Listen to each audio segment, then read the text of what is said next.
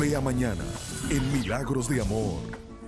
Hermanito querido, es que no me voy a quedar entre el carro asándome, esperando a que tú sigas planeando tu fuga, a que te deshagas de tus fieles. Pues hablando, señora. Ay, no te voy a poder prestar la plata. Qué pena, algo pasó. Nos podemos sentar, pensar si nos vamos de viaje, podemos solucionar los problemas después. ¿Y no será por casualidad un problema de 10 millones de pesos? A ver entiendo, Miguel. Si Omar no me da la plata, claro, entonces llamemos a la boba de Nelly, ¿cierto?